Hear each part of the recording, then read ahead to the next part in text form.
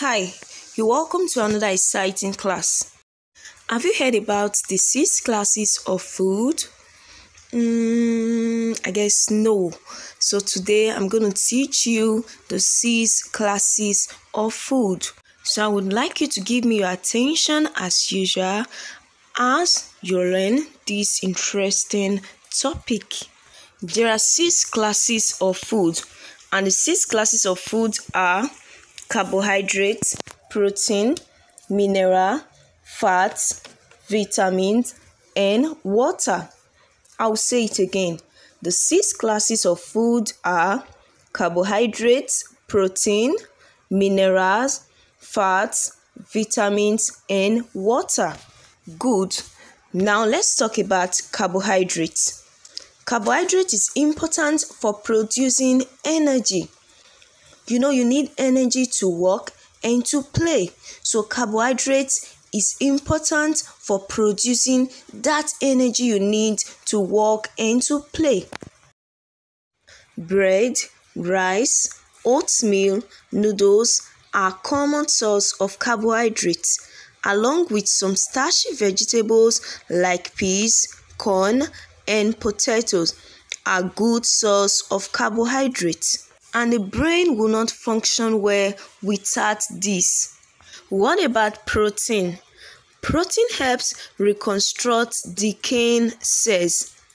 It helps reconstruct decaying cells. That means cells that are going bad, protein helps reconstruct them.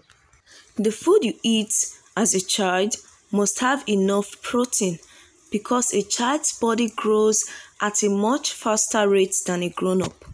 Some sources of protein are chicken, beef, pork, fish, egg, and beans.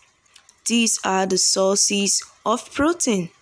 Now you've seen it's very important for you as a child to take in more protein. Now let's talk about minerals. Calcium, potassium, iron, and sodium are the four most important minerals a child needs. Calcium strengthens the bones and the teeth, and iron deficiency can delay the development of a child.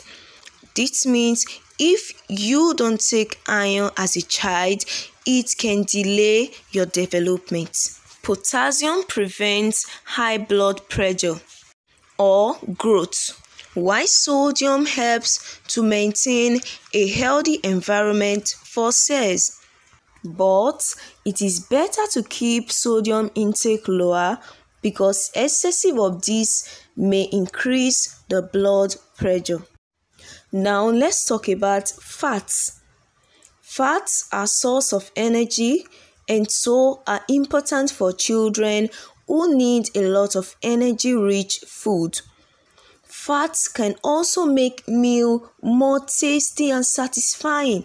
Fat is also found in meat, chicken, milk products, buttercreams, avocado, cooking oils, cheese, fish and granules.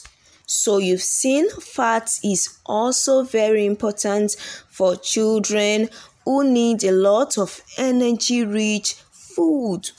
Now let's move on to the next which is vitamins.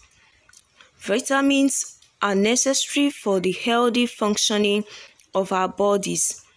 We need vitamins to help us grow, to see correctly, to form bones, muscles, skin, and organs, as well as to help us fight infection. And we have different vitamins.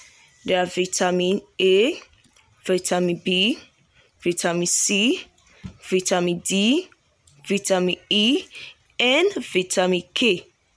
These are the different vitamins that we have. Now, let's talk about the last classes of food. I need you to tell me the last class of food. I'm waiting. Good. Water. Water is one of the most important classes of food. it carries nutrients from one part of the body to another. We all need water to survive. Did you know water also helps remove waste products from our body? Mm, I guess no, but now you know. Along with regular water, other sources of water are watermelon, cucumber, and juicy fruits. Now we've come to the end of today's class. I had a fantastic time and I know you had a fantastic time too. See you in our next class. Mwah.